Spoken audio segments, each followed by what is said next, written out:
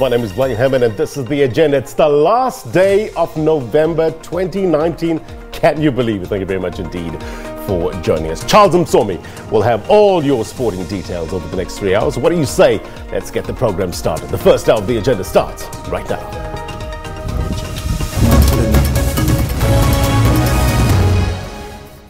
So, breaking news on the agenda's watch. Members of the Tshwane Mayoral uh, Committee and PR Councillor Sheila Senkubuge has tendered her resignation with immediate effect. She was MMC from 2016 up until yesterday, we understand.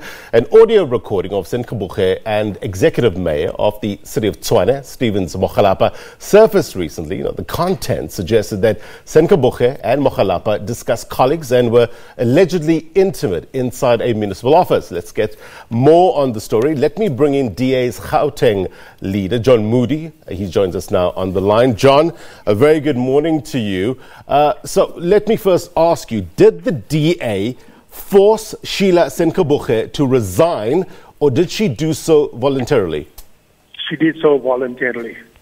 So, what happens now, uh, John? Who takes over as MMC for roads and transport? Well, let me just explain quickly. Um, the vacancy will be declared by the IEC and the chief whip of the DA is already busy dealing with that aspect. Once the vacancy is declared from a DA perspective, we will fill that position because it is a proportional list uh, position um, according to our nomination regulations. The mayor, um, after consultations with the party, will then elect a new uh, MMC for transport in the city of Tshwane. All right. So that is very important uh, for our viewers to get an understanding of the process because it affects residents of Tshwane. Let me get to the point of you as the DA accepting this resignation. Well, uh, in, we do accept it. Um, Sheila has also indicated in the letter that she's doing it as a matter of principle. Um, there are people out to vilify her, and she thinks it's in the best interest of the people in Batho Pele that as a public representative, um, being embroiled in such um, serious allegations, mm. uh, which she denies, it is best for her to step aside and allow the um, service delivery not to be negatively impacted by um, her continuing in office.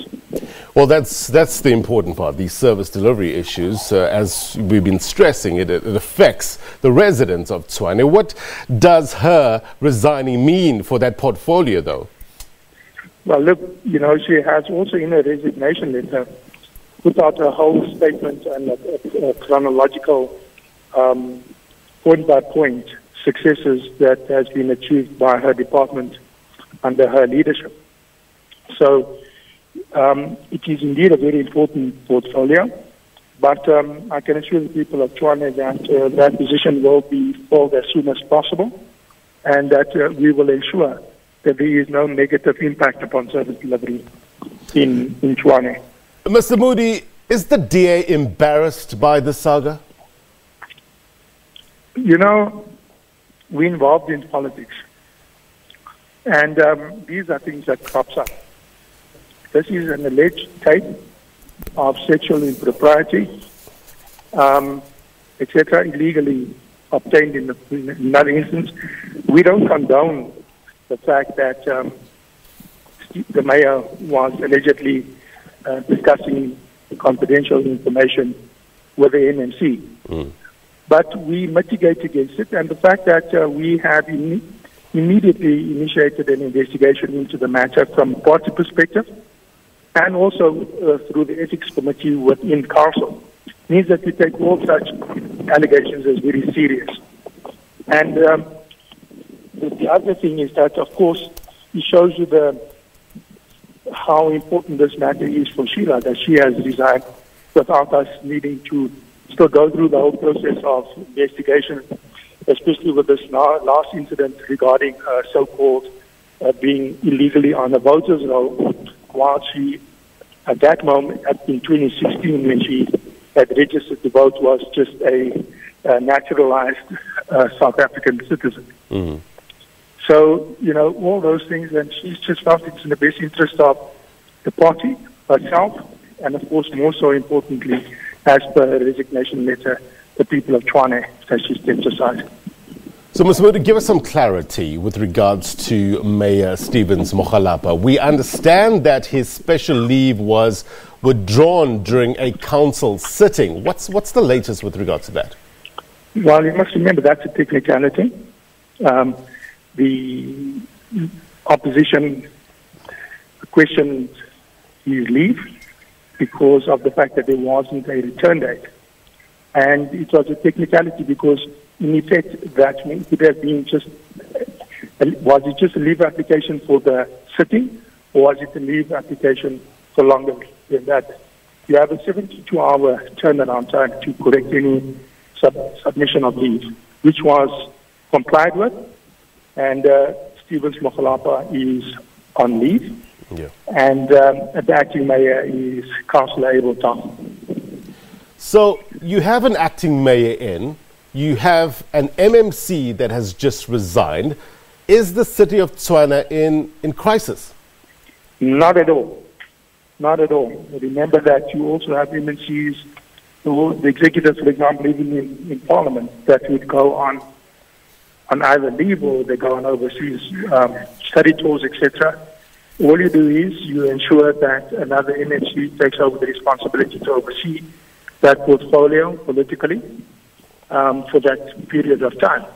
It does not put any municipality or, in this instance, Tshwane under any crisis at all. Mayor Mokgalapa reportedly said that uh, he was being blackmailed with an audio recording leaked to the public. This is, you would agree, a serious concern. If true, is this being investigated? Yes. Uh, last week and Sunday, he went and laid charges at the Brooklyn police station as well as with the Hawks. And he has evidence thereof in terms of WhatsApp messages, SMS messages, messages, and other correspondence. Mm.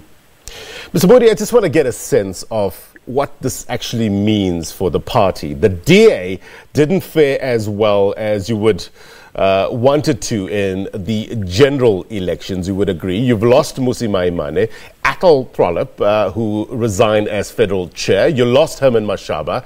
And as we know, Mashaba didn't go quietly. Where does this leave the party? Well, you know what? We're a political organization, and any big organization such as ours, um, we expect such things to happen. It is unfortunate, but when it happens, you mitigate against um, damage and uh, we prod on.